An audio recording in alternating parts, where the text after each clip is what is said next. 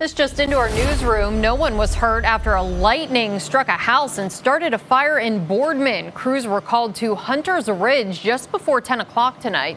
Boardman fire officials tell us the fire was pretty much out when they got there, but they did put out some hot spots. Residents were home at the time, but got out safely.